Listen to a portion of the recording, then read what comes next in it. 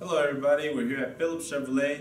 My name is Nestor, one of the sales specialists here at Phillips Chevrolet and I'm here with Iesha. She just purchased a 2017 Sonic LT. She's so happy, it comes with an automatic start. Uh, she can even use that app on her phone, the Chevy MyLink app. She's so excited, now she'll be able to figure out all these things just through an app.